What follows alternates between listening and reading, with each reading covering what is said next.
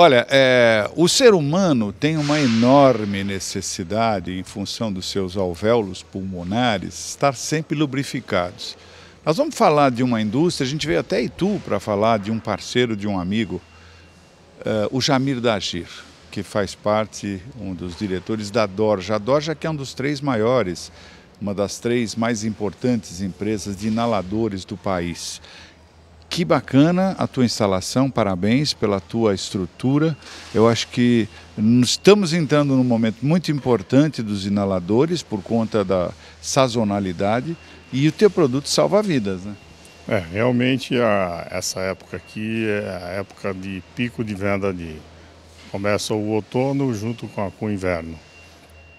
E nós montamos essa estrutura há um ano crescemos, né, viemos de uma, uma estrutura mais, bem menor do que na, era na Lapa, em São Paulo, e hoje nós estamos aqui na, na cidade de Itu, onde tudo é grande. Tudo é, é grande, inclusive as instalações, da Doja. As instalações da Doja também, ficaram super dimensionadas, mas que acreditamos nesse país.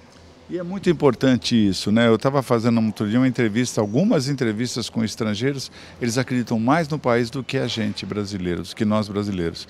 E olha que, que negócio interessante. A Dorja tem hoje um dos aparelhos, a Medicate, mais modernos do mercado. É, eu estava fazendo uma entrevista com sua filha, Marcela, e, a representatividade, a tecnologia do seu produto é muito legal, né? É, realmente, nós não somos a maior empresa do, do setor, mas estamos evoluindo ano a ano e esse ano estamos lançando o inalador a, a, com membrana tipo mesh. Ela é, é com duas baterias e trabalha silenciosamente. É um novo conceito em inalação.